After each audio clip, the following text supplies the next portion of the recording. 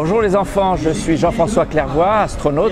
J'ai volé trois fois dans l'espace et j'ai l'honneur, le plaisir d'être votre parrain cette année et de vous retrouver pour certains d'entre vous au, camp d'été.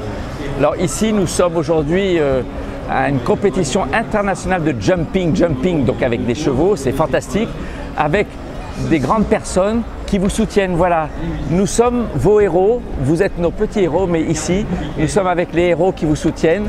Et pensez à eux parce que c'est grâce à eux que vous avez toutes ces activités et qu'on vous aide à toucher les étoiles. À très bientôt.